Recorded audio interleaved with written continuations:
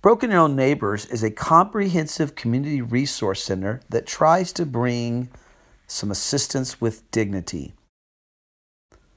We will be trying to provide some assistance to those in our community that need a little extra help this time of year. So, we will be having a school wide food drive that will be conducted in our community classes. Our food drive will be going on from November 11th through November 22nd.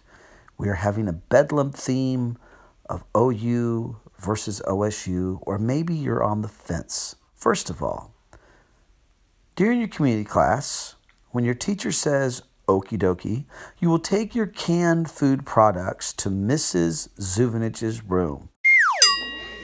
OU! OSU. On the fence. OU. OU. On the fence. OSU. OU. OSU. On the fence. Oh. OU. OSU. Oh, oh. Oh, on the fence. Now you can earn a raffle ticket, actually a lot of raffle tickets, for the items that you bring in.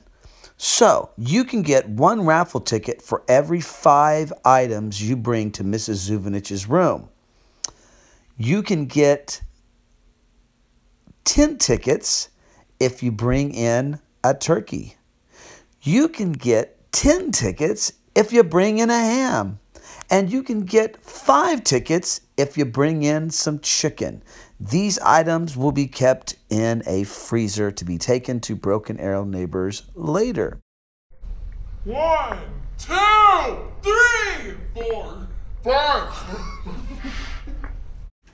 That's right, five. Five lucky winners from the raffle drawing will win a lunch that will be brought in from a fast food restaurant. So come on, Centennial, show some gratitude and help those that are in some need this season.